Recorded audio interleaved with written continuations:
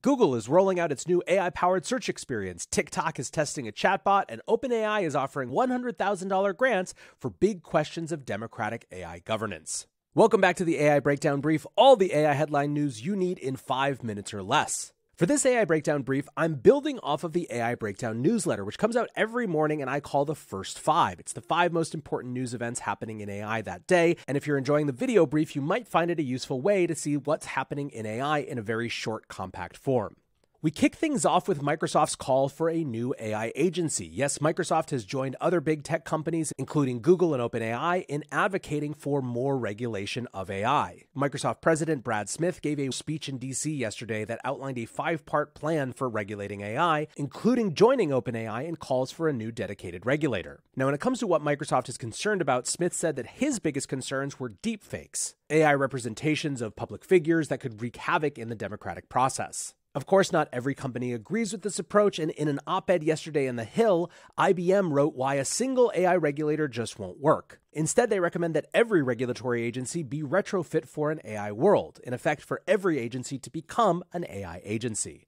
Next up, OpenAI has launched a million dollar grant program earmarking 10 $100,000 grants for people to help create frameworks for democratic processes around important questions of AI. Those questions include things like how should AI treat public figures when there's a diversity of opinions about those figures, as well as issues of bias and representation. Now, not everyone is enthused about this approach. Geoffrey Miller responded to OpenAI's tweet saying the most fundamental democratic process would be to run a large scale global survey of humans on whether AI should be developed at all or not.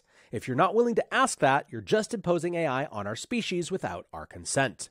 Next up, a really fascinating story. AI has been used to help discover a new antibiotic for a very dangerous superbug. Acinetobacter baumannii is a type of bacteria that is classified as holding the greatest threat for humanity by the World Health Organization because it can basically pick up genes from other compounds to build drug resistance for itself. In a new study, researchers exposed that bacteria to 7,500 or so different drugs and drug compounds, and then trained an AI model on the 480 or so that showed promise in stopping the development of this particular bacteria. From there, in just a few hours, the AI model was able to test 6,000 plus different chemical compounds that showed promise potentially in treating the bug, of which about 200 were then tested in a lab. Ultimately, one was shown to not only deal with the superbug, but basically to only treat that use case. We're at the very beginning of AI being used in medical research, and this shows just how promising it might be. Next on the brief today, this seems completely inevitable. TikTok has joined the chatbot frenzy. Now, TikTok is already almost entirely powered by AI.